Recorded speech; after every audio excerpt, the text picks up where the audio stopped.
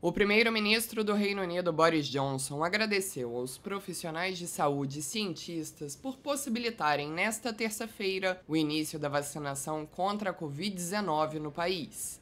Uma mulher de 90 anos foi a primeira pessoa no mundo a receber a vacina da Pfizer BioNTech.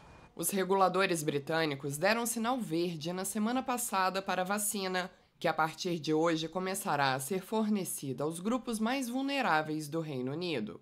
Cerca de 50 hospitais na Inglaterra Escócia, País de Gales e Irlanda do Norte começarão hoje a vacinar funcionários do setor de saúde, pessoas com mais de 80 anos e lares de idosos.